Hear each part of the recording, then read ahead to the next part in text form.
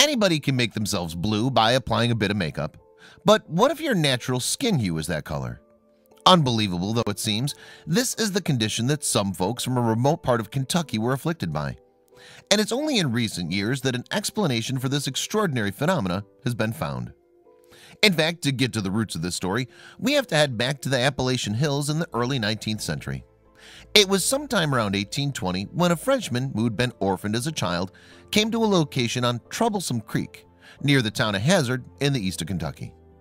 That Frenchman was called Martin Fugate.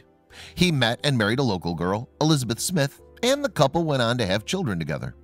Furthermore, their descendants went on to intermarry with other local people, often quite closely related. Geography played a big part in the story, or to be more precise, the remoteness of Hazard did. Hazard was a spectacularly isolated place. In the 19th century, the only routes to get to and from the township were along the 45 miles of the Kentucky River's North Fork or by undertaking a two-week hike across the mountains. It wasn't until 1912 that the railroad reached town. Consequently, this remoteness encouraged folk to intermarry. The chances of meeting outsiders if you lived in Hazard were few and far between. So you can hardly blame the townsfolk for courting and marrying other locals. For many of them, their neighbors were the only realistic options as partners. It was this intermarriage and subsequent children such unions produced that exacerbated the conditions of the blue people. The skin hue was caused by rare genes combined with interbreeding. Moreover, the genes were continually being passed on by the good people of Hazard to each other. And the condition can be traced all the way back to Fugate and his bride, the red-headed Elizabeth. So the existence of these blue people in remote Kentucky was real enough and the condition was caused by a genetic mutation. However, the people back in the 19th and early 20th century didn't know that.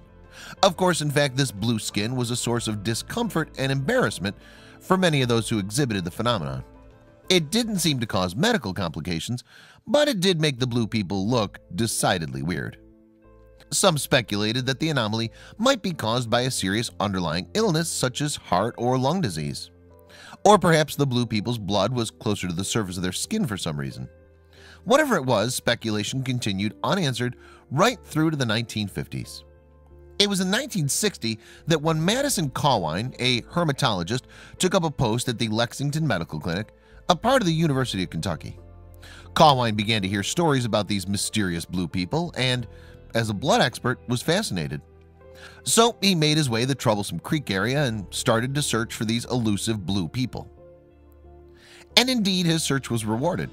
Speaking to Science magazine in 1982, Cawein recalled the day that Patrick and Rachel Ritchie appeared at the Hazard Clinic. They're bluer than hell. Well, as you can imagine, I really examined them. After concluding that there was no evidence of heart disease, I said, aha! I started asking them questions.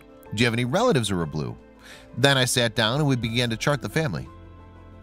Cawein also witnessed the discomfort and shame that the blue skin coloration could cause to those afflicted. They were really embarrassed about being blue, he said. Patrick was all hunched down in the hall. Rachel was leaning against the wall. They wouldn't come into the waiting room. You could tell how much it bothered them to be blue. Dr. Cawein first eliminated other possible causes of the strange blueness, such as heart or lung disease. With them out of the way, he suspected the cause was a very uncommon hereditary condition, a blood disorder called methemoglobinemia. This sees sufferers' blood containing the above-average amounts of a component called methemoglobin. Methemoglobin, which has a blue hue, is a mutated form of red hemoglobin.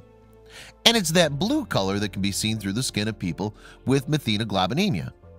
So now that Cawein had an explanation for the blue color, his next task was to find out why these particular folks in this part of Kentucky had been affected. Methemoglobinemia can be caused by a variety of factors, including a fault in the way an individual makes hemoglobin. Alternatively, it can be caused by an enzyme deficiency or even by eating too much pork liver. Pork liver has a high level of vitamin K. Although it's an essential vitamin, too much of it could be at the root of the problem.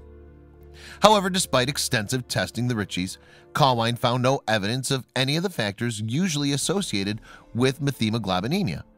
With that in mind, the hematologist turned to researching medical literature, and here he found something that was the key to the puzzle. It was a 1960 paper published by the Journal of Clinical Investigation.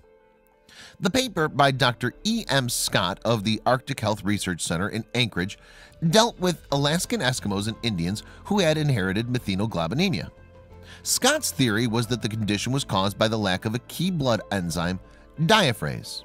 In fact, its absence meant that the normal conversion of methemoglobin to hemoglobin would not happen, creating the blue hue.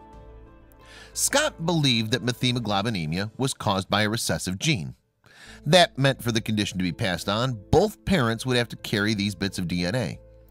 And as we've seen, the isolated circumstances of the hazard community made them perfect candidates for passing on recessive genes. Cawein now needed some more blood to test. Eventually, he tracked down Bessie Fugate. Cawein recalled, So I brought back the new blood and set up my enzyme assay.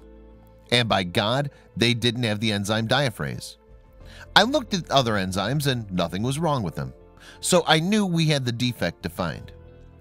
Cawein now did some intensive work on tracking the Fugate family's history. As we know, Martin Fugate had arrived in Kentucky in about 1820 and married Elizabeth Smith. Their union produced seven children, four of whom are said to have been blue. Those children had further offspring, and they went on to marry other local people, including first cousins. Thus, the recessive genes were spread from generation to generation. In fact, over the years, the frequency of blue people dropped dramatically as the Kentucky infrastructure improved and people benefited from increased mobility. This in turn enabled people to have a wider choice of partners and to enlarge the gene pool.